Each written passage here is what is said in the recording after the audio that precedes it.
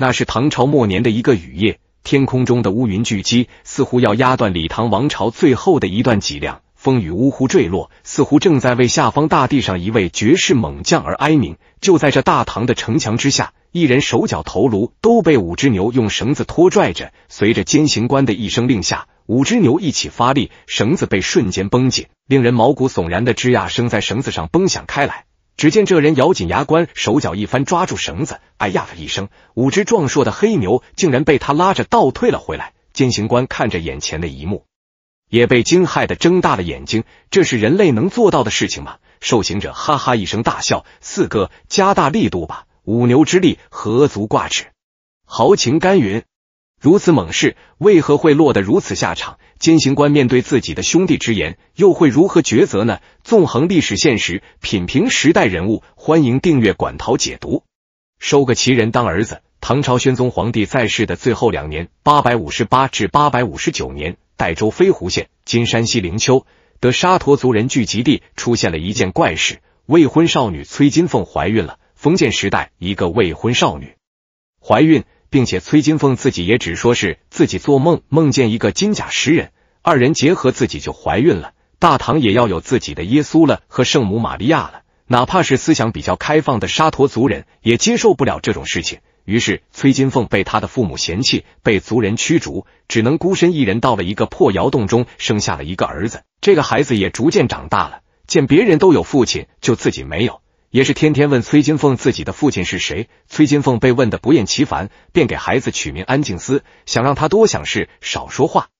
但这种含义哪是一个孩子能理解的呢？安静思依旧每天都问崔金凤。根据灵丘民间故事记录记载，崔金凤见儿子实在可怜。便把他带到了一处石台上，上面摆满了祭祀用的石人。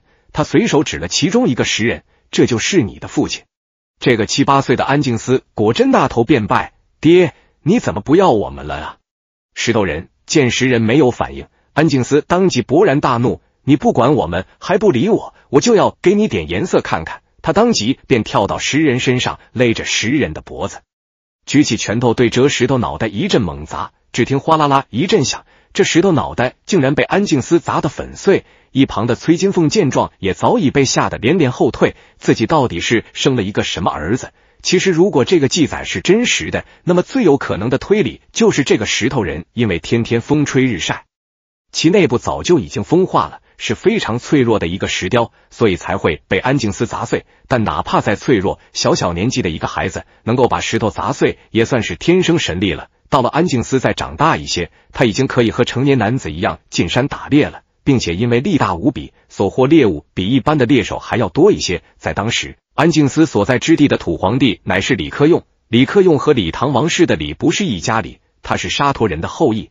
因为他父亲为李唐讨伐叛贼有功，所以被赐给了李姓。李克用从小也是武力过人，十五岁便上马征战，杀敌无数，被人称为飞胡子。在担任云中。今山西大同附近牙将之时，和鞑靼人比武，也是有过一箭双焰的战绩，引得一众以骑射为本的游牧民族们都心服口服。潜伏三年，公元八百七十六年，代北水路发运使段文楚和不过二十却已经是云中都将的李克用不和，于是借着旱灾的机会，拿着军粮去赈灾，想要借机削减李克用的实力。众将一看，你段文楚慷我们的慨，解我们的囊，最后好人还是你当了。这还了得！于是，在众人的愤慨下，李克用挥兵进城，处死了段文楚，甚至为了谢众人之愤，把他的尸体交给将士们分食了。也就是在此战乱中，安静思被李克用俘虏了，成了李克用的仆从。但安静思的勇武很快就被李克用发现了。在见识到了这位非人一般的武力之后，李克用震惊了。得知了安静思的身份之后，李克用也是觉得此人可用。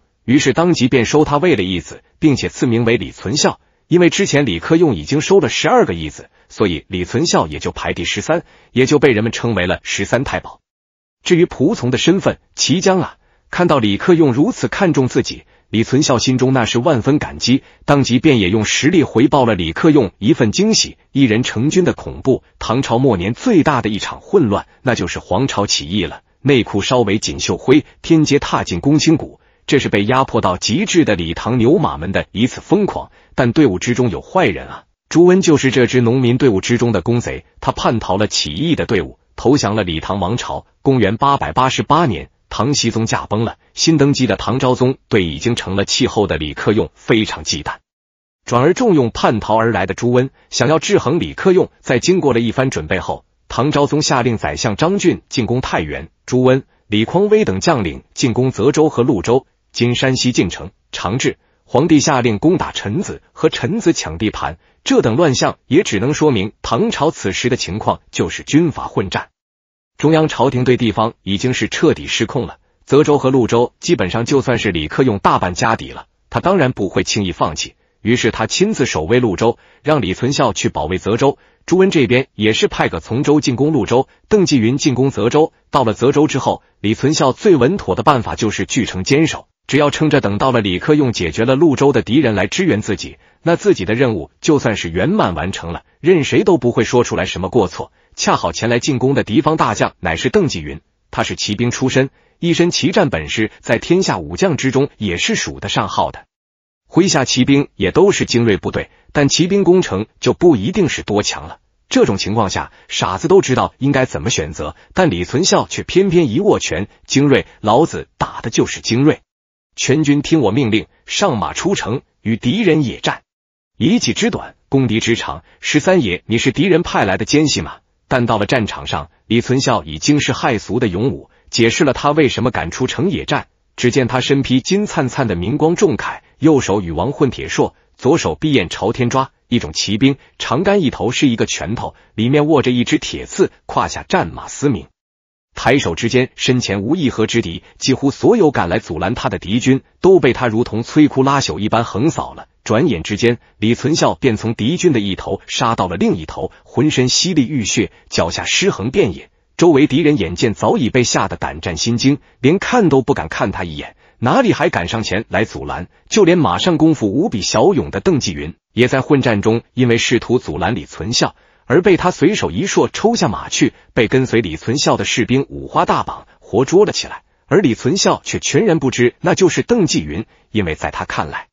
大将和小兵没什么区别，最多就是这个人不错，竟然没被我一下打死，还能撑着被俘虏，很有精神。军队阵型配合，我一个人就能给他杀穿了。要什么军队阵型配合？一场在众人看来是必输无疑的泽州大战，硬是被李存孝的个人武力给逆天改命了，任谁都难以相信这一点。但其实李存孝的抉择误打误撞，反而是非常正确的。因为哪怕他坚守城池，李克用也不会给他支援了。李克用的潞州保卫战失败了，原因还不是被打破的，而是军队哗变，将领冯霸趁机叛乱，杀了李克用的弟弟，投靠了李唐朝廷。李克用被迫出逃，李存孝闻言后当机立断，立刻带兵埋伏在了潞州西边的山谷之中。冯霸以潞州投靠了朝廷，那朝廷得派人过来接收吧？那得走过来吧？这里就是你们的必经之地吧？我等着你哦。他自己就是独一档，果然唐昭宗派京兆尹孙奎前来接收潞州，正好就走到了李存孝的包围圈里，正面打都不是李存孝的对手，更别说被有心算无心的打了埋伏了。一战之下，孙奎就这么被稀里糊涂的活捉了，潞州也就成了一座孤立无援的孤城。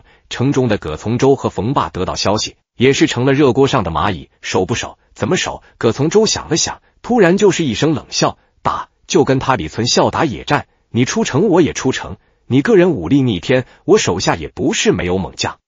葛从周手下的猛将是谁呢？正是之前的天下第一王彦章。王彦章乃是山东寿张人，有着山东大汉的明显特征。八尺身高，或许比不上山东的大葱，但在军队中绝对是鹤立鸡群，并且力大无比，是一把一百二十斤的大铁枪，身经百战，未尝一败，几乎没有人能阻拦他，堪称是天下第一战将。正是王彦章给了葛从周与李存孝一战的信心，让他打开城门，开始了这场令他后悔终生、令李存孝天下闻名的战斗。战争一开始，王彦章便挺枪拦住了李存孝。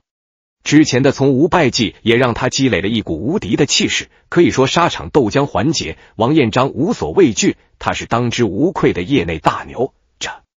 随着一声大喝，王彦章手举一百二十斤的大铁枪，以力劈华山之势对李存孝当头砸了下去。用枪一般是刺、挑、戳、架、挡，把枪当锤棍斧钺一般劈下去，几乎很少有人这么玩。但王彦章就是这么用出来了。一来，王彦章手中的枪和一半的花枪。红缨枪不同，乃是重枪，走的就是一力降实惠的路子。二来，王彦章此举就是出其不意，更是给了李存孝一种实力上的蔑视。我对你无需讲究套路，怎么打都能赢。如果是普通战将，那么势必要在这一枪之下饮恨了。不说别的，单说这一百二十斤的东西直直的砸下来，这就得是多大的力道？别说是一个人，哪怕是一头牛，都得被当场砸死。可李存孝就是比牛还牛。只见他就这么把禹王朔往马鞍上一挂，伸出右手就对折王彦章砸下的大铁枪迎了过去。嗡！大铁枪猛地被停在了空中，但砸下的惯性依旧带动着枪杆不断的颤动着。被抓住了，李存孝竟然只用一只手就抓住了王彦章使了全身力气砸下来的一百二十斤的大铁枪，简直离谱！王彦章看着眼前的李存孝，已经是瞠目结舌，连话都说不出来了。随即回过神来的他，立刻从李存孝手中猛拽自己的大铁枪。谁知那大铁枪却似乎好像在李存孝手中生了根一般，任凭王彦章怎么使劲，就是一动不动。哈哈哈！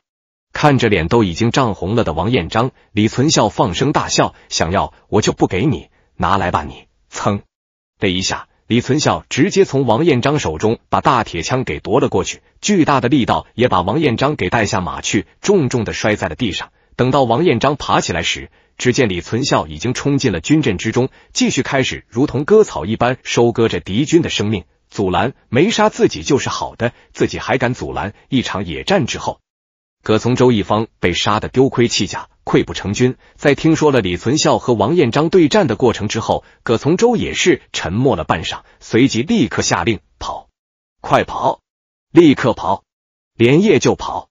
这什么匹配机制，根本打不了一点。得到葛从周连夜弃城逃跑的消息，李存孝也是没有追赶，就这么又收回了潞州。可以说，李克用能度过这次危机，李存孝发挥的作用在八成以上。但李克用对自己的这位义子却起了猜忌之心，怀疑产生，罪名成立。一个能打赢别人的天下第一，自己是非常喜欢的；但一个随便一招就能秒杀别人的天下第一，就是自己无法制衡的了。三英可以战赢吕布，所以吕布这样的天下第一，还有人敢和他合作，例如刘备、袁术等等。但根据一些文学作品之中描述的来看，就算把第二到第十加起来，也绝对打不过李元霸。这种就是绝对没人敢和他交往的天下第一。李存孝就是这样的绝世猛将，他自己独一档的那种猛将。战争之后，李克用任命手下的康军力从李存孝手中接收了潞州。转而把李存孝调去了赵城，给在太原和张俊对线的李存信打辅助。打仗没问题，可自己立下了大功，却任何封赏都没有，哪怕大饼都没有给自己画一个，这不是欺负老实人吗？生气的李存孝一连几天都是绝食抗议，父子之间就这么出现了隔阂。在赵城，李存孝开始奉命干活，不该自己上的自己绝对不上，但却遇见了敌人派出三百士兵前来趁夜袭营。三百人还不够李存孝活动活动筋骨的，但李存孝的战意也就此被点燃了。随手解决了袭营的他，下令追击，从赵城一直打到了晋州。晋州守将闭门不出，缩在门里拼命的念叨：“看不见我，看不见我。”李存孝无奈，只能转而进攻绛州。绛州刺史更是一条好汉，直接弃城跑路了。在拿下了绛州之后，李存孝转而进攻晋州，孤立无援的晋州也就被李存孝打了下来。眼看李存孝立下了这等大功，李克用对李存孝的担忧更大了，于是决定，只要是李存孝打下来的地盘，一定不能让他亲自管理，便封他为行州留后。大顺二年（公元八百九十一年），幽州的李匡威和真州的王荣一起向定州进攻。定州此时也是李克用的地盘，于是李克用便派十三太保之中的李存信和李存审带兵和李存孝会师，一起保卫定州。初定的战略为主动出击，围魏救赵，也就是由李存孝率先进攻李匡威的临城，逼李匡威回援。等李存信到了合兵一处之后，再一起进攻李匡威和王荣。但谁知李匡威的速度比李存信要快，没等李存信来到，李匡威就先支援了临城。李存孝见状，担心腹背受敌，便没有继续等李存信，而是先退兵了。这个举动也算是临机应变，更何况本来就是将在外，军令有所不受。但一直嫉妒李存孝的李存信却是抓住了机会，传信给李克用，声称李存孝战前退却，贻误战机，与敌私下媾和，似乎有投敌叛变的征兆。李克用见信，也是给李存孝去了一封信，不轻不重的说了他几句，但信任危机的种子，却已经在二人心中生根发芽了。尤其李存孝习武之人，也算是性情中人，见自己立下大功不被奖赏，反而还被猜忌，心中顿时凉了一半。好好好，既然你说我投敌，那我要是不跟敌人发生点什么，你不是白怀疑了吗？于是，气愤的李存孝竟然真的和离自己较近的王荣书信往来，赌气一般发泄自己的情绪。王荣也是抓住机会，大力劝说李存孝，竟然真的把他说动了投靠朝廷的心思。英雄的无力感。年后，李克用亲自出兵打过了汴州之后，又想去找李存孝看看，结果刚到行州附近，就得知李存孝已经和王荣成了好友，连年夜饭二人都是一起吃的。顿时，李克用被气得火冒三丈。好啊！这都不背人了！愤怒的李克用下令杀死所有的汴州俘虏，发兵攻打李存孝。令人意想不到的是，王荣竟然也趁机和李克用协商，愿意一起出兵攻打李存孝。还是那句话，没人想看到一个制衡不了的天下第一出现。核武器如果只有一枚，那就让他赶紧消失吧。李克用这边前来进攻李存孝的人，正是李存信。虽然战争前期李存信被李存孝打得失了先机，但他很快就想出来办法。那就是在行州城外挖了一道深深的壕沟，又用挖出来的土垒起了一道高墙，想要困死李存孝。李存孝手下的军校袁凤涛对他一阵溜须拍马，声称李将军天下无敌，区区土墙何惧之有？李存孝也是信了他的鬼话，就这么看着李存信进行土木作业。结果深沟高墙建好后，行州就成了一座孤城。不到一个月的时间，城内就断粮了。这么撑了十几天，人人都饿得红了眼。几乎是见到人都想上去啃一口。乾宁元年（公元八百九十四年）三月，这个春天对李存孝来说却是那么寒冷。哪怕他武力值再怎么逆天，他也是要吃饭的啊！饥寒交迫的他站在城头，大声向李存信喊话，诉说自己的冤枉。但李存信对此全然不理会。最终，行州城破，李存孝被擒。监军向李克用汇报了李存孝的喊话，李克用也是起了爱才之心，毕竟是核武器啊。说销毁容易，做起来还是有些舍不得。但一来从李存孝住处找到的他和王荣往来的信件，里面全是骂李克用的话；二来李存信带头一群武将，没有一个为李存孝求情，全都是要杀他的，就是要置其于死地。最终李克用还是下令对李存孝施行车裂之刑，由李存信监刑。这便是文章开头的那一幕：先是五匹马拉，根本拉不动，便换了五头牛来拉，反而被李存孝一使劲拽了回来。恼羞成怒的李存信下令挑断李存孝的手筋脚筋，再给他套上五头牛。这次，这位天下无敌的绝世武将再也没有了力气。在生命的尽头，他似乎看到了那暮色下随风奔跑的夕阳，那是他逝去的青春。今天的故事到这里就结束了，大家有什么看法可以留在评论区。感谢大家的观看与支持，觉得内容还不错的朋友可以点击订阅，您的支持就是我最大的动力。我们下期见。